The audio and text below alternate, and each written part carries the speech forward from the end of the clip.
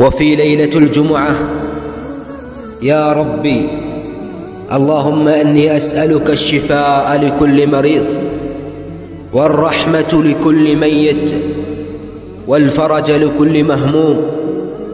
اللهم فرج همنا ويسر أمرنا وارزقنا برزقك يا رزاق يا كريم.